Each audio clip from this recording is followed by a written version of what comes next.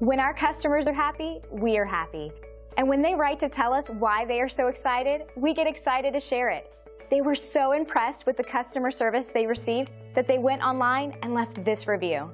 It's obvious that reviews like this always make us smile, but it also serves as a reminder to us that it is imperative to provide the best service possible for our customers. We believe that our future success comes from the way we treat our customers today. So whether you are somebody we haven't seen in a while or new to us, we value all customers, new and old, and treat them equally with great customer service.